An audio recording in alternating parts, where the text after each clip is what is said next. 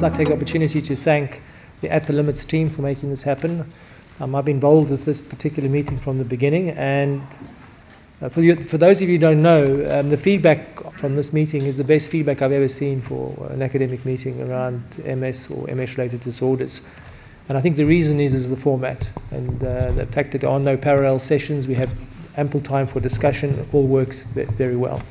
And it's also the quality of the speakers. So I'm, I'm really, you know, we're very grateful to have uh, Jeff Bennett from Colorado coming out. Jeff's extremely well known in the field and he's been chasing the antigen specificity of oligoclonal bands uh, in MS you know, your whole academic career.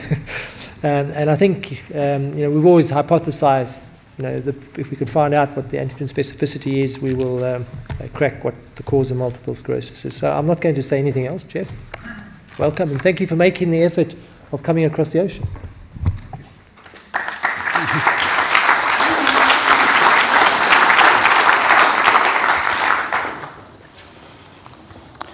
Well, good morning, afternoon, everyone. I'd like to thank the organizers uh, to, uh, for their kind invitation to, talk to talk here and the ability to travel, to finally have a holiday in the past 18 months. And after traveling across the ocean, I must say I felt right at home. it, it just like I was back in America. So,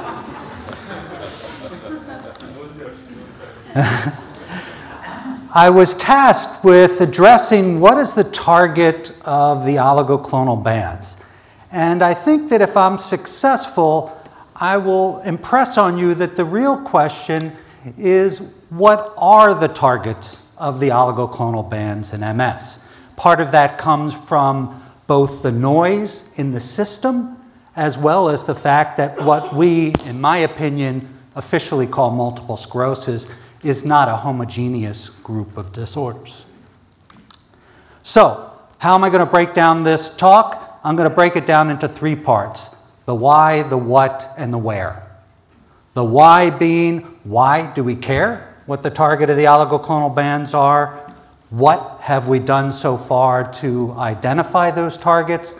And finally, where are we going from this point forward?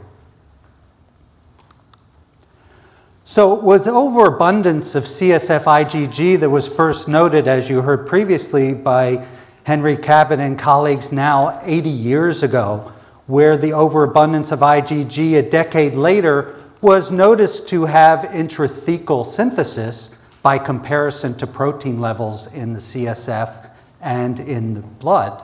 And that difference allowed us to come up with terminology that we still use to date with the IgG index as a measure of that intrathecal synthesis.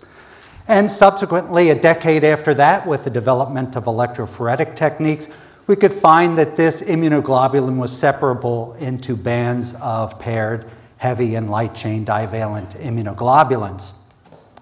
This CSF oligoclonal bands, while not specific to MS, is found in all phases of the disease and in the vast majority of MS patients and is currently used in our 2017 criteria to determine dissemination in time, and that's because it is a product of time and large quantity production of CSF immunoglobulin, and also correlates with some indices of prognosis in multiple sclerosis. Dr. Calabrese and colleagues looked at patients with oligoclonal bands and without oligoclonal bands in multiple sclerosis and found out that those with oligoclonal bands had higher levels of lymphoneogenic and inflammatory cytokines. They had evidence of increased tissue injury as measured by cortical lesion load, as well as serum measures of cortical damage, such as neurofilament light, and increased incidence of functional impairment as an increased risk for progressive disease. But even more importantly, in other disorders where there are oligoclonal IgGs in the CNS, specifically in infectious causes, both in human, in blue, animal, and gold, the target of the oligoclonal IgGs is the causative organism of the infection. And so, therefore, why study oligoclonal bands? because oligoclonal bands are a frequent feature of multiple sclerosis patients' CSF that's associated with disease activity in some way that it is either directly pathogenic or driven by the process that is driving inflammatory pathogenesis. And it's going to inform us of the immune targets in this disorder. So, to put it simply, as the famous bank robber did in the US, Willie Sutton, when asked, Why do you rob banks? he said, That's where the money is. So, why study oligoclonal bands? Because that's where the money is. Early studies of oligoclonal band specificity were challenged technically. How do you take this polyclonal CSF IgG and determine what fraction is specifically the oligoclonal fraction? People use relative comparison of CSF and serum in their binding assays, or they use immunoaffinity gels and electrophoretic techniques, and they came up with a multiple target specificities, including viral and oligodendrocyte and intracellular and neuronal targets. And some of these likely are some projects of some IgG that are made intrathecally as some components of the oligoclonal bands. Which one by these methods? It's hard to say. What we decided to do now 20 years ago in collaboration with the late Don Gilden, and with my longstanding scientific colleague Greg Owens, we went to look at a novel approach to specifically study the human oligoclonal bands by reproducing them in the laboratories. And the bottom figure shows that if you take CSF cells, B cells, culture them, and run them electrophoretically on a gel against the patient's own cerebral spinal fluid, you can see that those B cells when stimulated, produce most, but not all of the oligoclonal bands. So it was our strategy to recover antibody secreting B cells, plasmablasts, plasma cells from the CSF, clone and analyze their structure, and produce recombinant antibodies in tissue culture that duplicate their antigen specificity. How we did that was by using FACS to sort antibody producing plasma cells here from MSCSF to isolate them as single cells in a dish, use RT PCR to find paired heavy and light chains from individual cells, identify those cells that were clonally expanded by virtue of multiple B cells expressing the same clonally related immunoglobulin pairs, and produce their antibodies in vitro. The cells that we found showed targets of an antigen driven process and a dynamic circulation between the blood and the cerebrospinal fluid.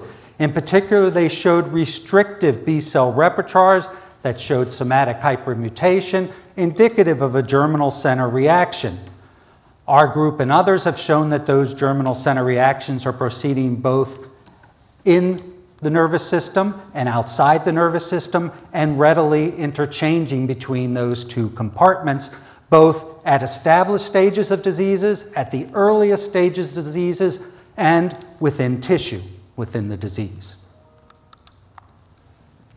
Antibodies from these plasma cells through the work of Brigitte Obermeier, Klaus Dohrmeier, and Hans Christian von Boudingen showed in elegant techniques using proteomics, transcriptomics, anti-idiotypic antibodies that the recombinant antibodies produced by these repertoires of B cells from the CSF connect directly with these oligoclonal bands.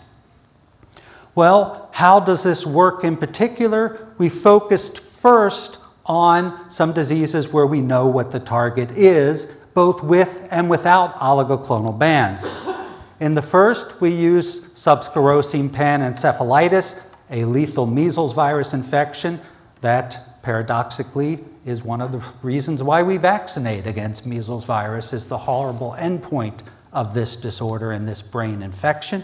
And we found in a patient with subacute sclerosing panencephalitis that clonal populations of B cells within the central nervous system had an antigen targeted response with a VH1 germline bias, and 70% of those plasma cells, not 100%, 70% of them were directed against measles virus protein.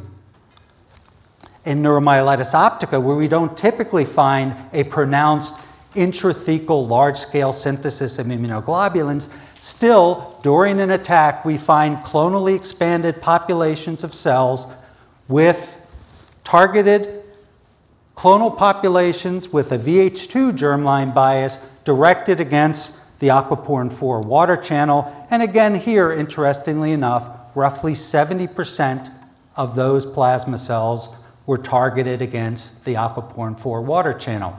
And through analysis transcriptomically, proteomically, we know that there are clones within this intrathecal space that are not produced within the peripheral blood.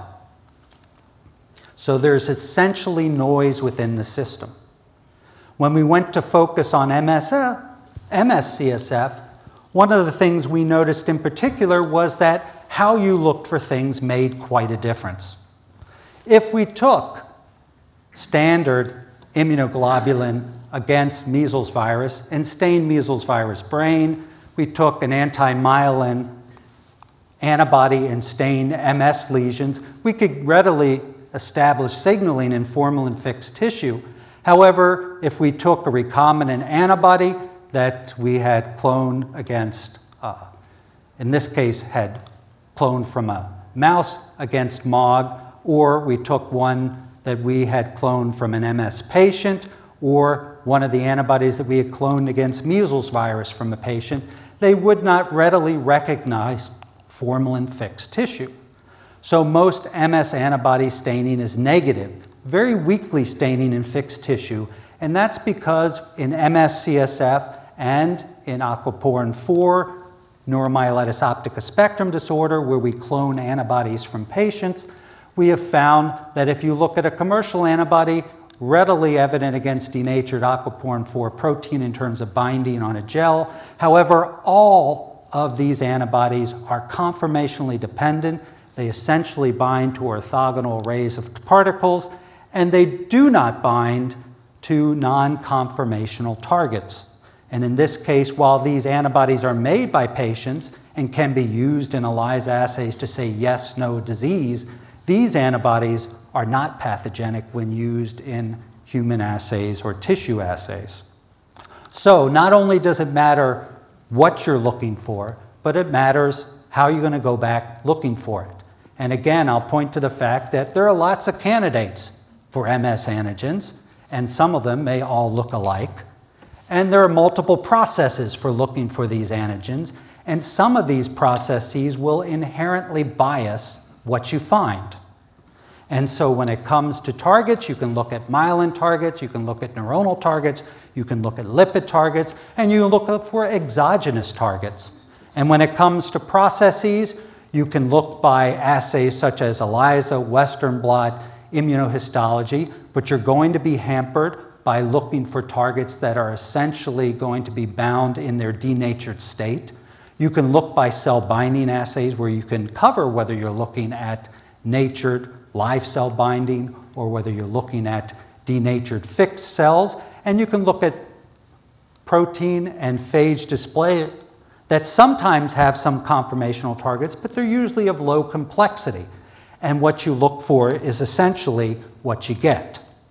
And that's where we can look at what we've accomplished to date in a lovely paper uh, by Klaus Dormer and colleagues.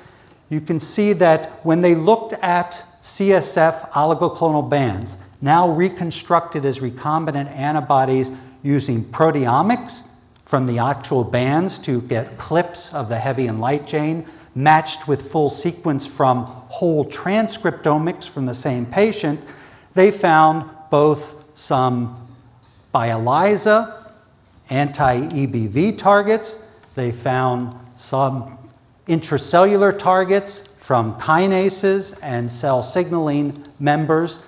But the issue with this is that while it probably is some valid specificities of the oligoclonal bands, some things are going to drive it. How they looked for it, looking for denatured targets by immunoblots, how you look for it in a protoarray while it is a broad spectrum analysis. The protoarray, while it has some larger domains that may be conformational, if we used a protoarray to look for aquaporin 4 antibodies from recombinants we derive from patients, we wouldn't find one antibody that bound to this protoarray, no matter how many segments of aquaporin 4 you found out. So complex epitopes are going to be missed in such an assay. And finally, when you look at reconstructing antibodies by proteomic methods, you're not necessarily looking for the most robust immune response as you can from single cells that you're isolating from the CSF that have become abundantly clonal, and that's evident by your analysis process by FACS. In fact, we did a similar analysis with Hugh Willison and colleagues looking at glycolipid binding in array, and we found that almost a third of our multiple sclerosis recombinant antibody bound to glycolipids, particularly sulfatide and sulfatide complexes. However, in contrary, if you look at CSF immunoglobulins recombinant antibodies made from inflammatory controls, you found about a third of them bound to CSF, sulfatide, and lipid complexes because, probably for three things. Some of these are legitimate lipid targets, possibly from damage and associated immune response. Some of them may bind non discretely to these antibodies because many autoantibodies have a significant positive charge in their CDR3 domains. And finally, because these lipid complexes may be a part of a more complex antigenic target. So, what are we doing now and where are we going?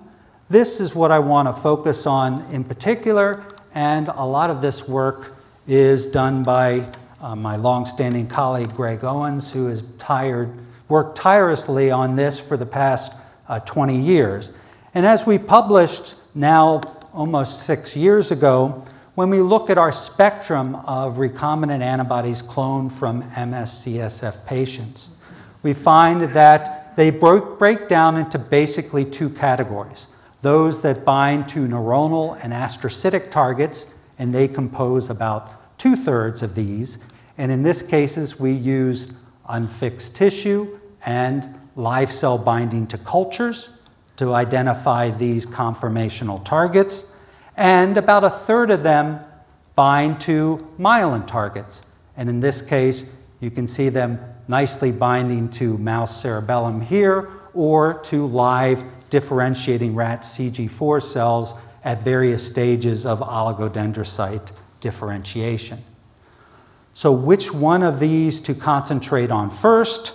Well, part of which is we thought the best first step was to look at a functional stage. And that is, we looked at these antibodies. This is a neuronal, myelin, and astrocytic targeted recombinant antibodies. These are control antibodies, measles virus antibody, another second control antibody in spinal cord slices showing that if we look at them in the presence of human complement, control antibodies do not cause spinal cord destruction, but both the astrocytic, neuronal, and the oligodendrocyte targeted recombinant antibodies cause damage. So it didn't quite help us to decide which ones to focus on first, and this is shown graphically here.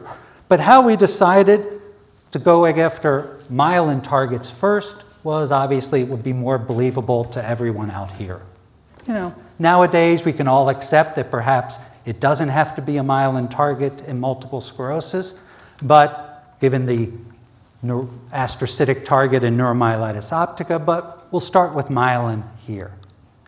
And so this myelin target on a live cell binding assay with super resolution microscopy can show you that this target stained in red with the human recombinant antibody, is pumped through the connections from the oligodendrocyte stained with EGFP here intrinsically in green over a MAG neurofilament staining in purple, MAG in blue, and MOG out here in blue on the side. And these are discrete packets on the extracellular surface of the myelin uh, sheath, pumped out along these little connections from the oligodendrocyte to adjacent neurons.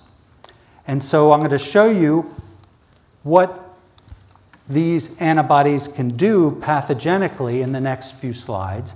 And these MS recombinant antibodies I'm going to show you in cerebellar slice models and in microinjection models. And in these two models, these mice are expressing EGFP using the PLP promoter as a transgenic, so all of their oligos are nice and green here for you. So, in this question, do these cause cell death, demyelination, axonal damage, or do they affect repair? So, in the SLICE model, we've previously published that this MS antibody, just like a aquaporin 4 targeted antibody from neuromyelitis optica, can cause demyelination in the presence of human complement. Here is an isotype control antibody, and here's the quantitation of that demyelination and the absence of any demyelination with antibody alone in the absence of any exogenous source of human complement. These MS targeting antibodies against myelin do not affect oligodendrocyte integrity as shown here. And with the presence of an aquaporin 4 antibody, you can see the destruction that's ensuing within uh, astrocytes. Neurons are, do not have any damage in the slice model with the MS antibody. However, they do get damaged with the presence of an aquaporin 4 neuromyelitis optica antibody. So these antibodies are capable of activating complement and causing demyelination in slice cultures.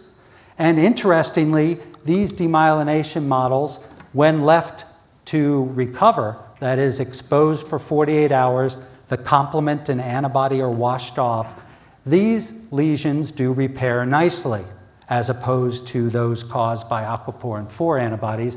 This is an isotype control showing you, as are stained here, myelin basic protein stain on top of neurofilament in blue, showing you the loss of myelin and then the reconstitution.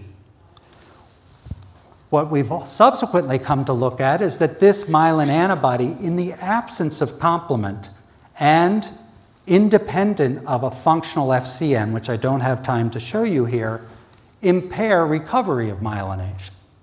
So if you demyelinate for 48 hours, then expose to antibody without the presence of human complement, you'll find that you can inhibit repair of myelin, which is shown here in this rightward two sets, as opposed to the nice remyelination that comes along in the absence. So these antibodies, while they may promote destruction, also their presence in the absence of complement may impair recovery.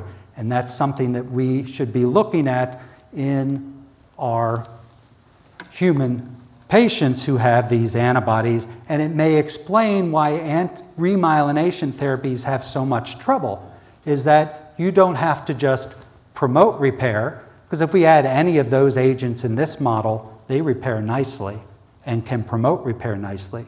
If we add pro remyelinating agents to this model with the continued presence of antibody there, they don't remyelinate at all. So you have a block to remyelination. If we look in the intact organism where we have an intact immune system present and we inject anti-myelin antibodies without complement and with complement, with complement we see that we have nice, robust, destructive lesions characterized by a loss of oligodendrocytes and infiltration of um, macrophages and microglia into the lesion, as well as, and I don't have time to show you, nice lesions of axons and uh, destruction of neurons in the adjacent area. In the absence of complement or with antibody alone, we don't get those destructive lesions. What is this target? We do know what it is, but unfortunately, I can't give you a name right now. We do know that when we knock it out from the respective animals, we find no destructive lesions in the presence of antibody. You can see here in a wild type animal, you have a nice destructive lesion in the knockout animal, we no longer have any targeted destruction. Where do we find it in patients? I'm bringing this up is that, as you might expect for an MS oligoclonal band, this antibody is not readily apparent in the blood serum. And here you have both neat CSF as well as concentrated CSF, anti human IgG shown in green, an intrinsic marker shown in red for expression of this antigen.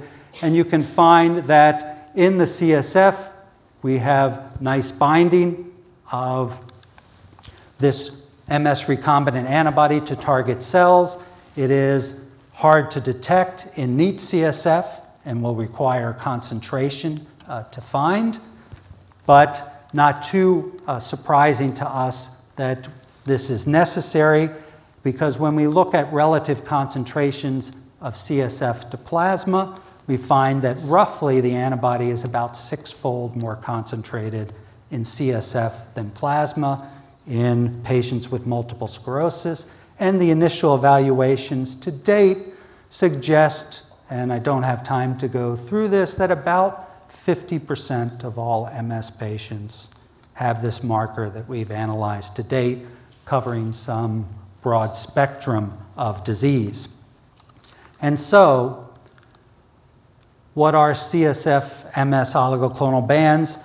They're a polyclonal CSF immunoglobulin population that are synthesized in significant quantities in MS-CSF. Electrophoresis is an old technique. It's very insensitive. And that this oligoclonal band population, as determined by its relationship to the CSF B cells that are antibody producing are connected to an intrathecal B cell response that also circulates with the periphery and is either linked to or contributes to the inflammatory process driving disease. I've showed you with models, and we have direct evidence from patients of the correlation between the presence of these antibodies and the activity going on in MS patients. What are these targets? They're going to vary. There's going to be some that are pathogenically important, and there's going to be others that relate to a destructive process, that may relate to other processes that drive different aspects of pathology, as well as some that may be B cells that are surviving in a relatively conducive environment to B cells, as mentioned in the prior, prior lecture, where we had diphtheria toxin B cells getting to the CSF and producing immunoglobulin as well as the MRZ reaction that is used here in Europe for MS diagnosis that may point to a particular environment that's helpful for B cell production. They drive inflammation or are a product of this inflammatory response, and they do target neuronal and glial antigens. And I think coming soon, they're going to facilitate the diagnosis and the treatment of disease. And before I conclude, I'd like to thank uh, Greg Owens in particular, long-standing collaborators, worked tirelessly on this process. Alana Ritchie, a long-standing member of the lab, Etin Lulu, who did the uh, cell slice assays, Kevin Blau, who did the original spinal cord assay, other members of the lab involved in the production, current collaborators, Wendy Macklin and Catherine Given, who are working on the remyelination uh, and demyelination projects with us. Ethan Hughes, who has used the development of these antibodies uh, to develop a novel model of cortical demyelination in vivo using two photon microscopy, collaborators on the NMO project, and of course, uh, my funding agencies. And I'd like to thank you all for your kind attention.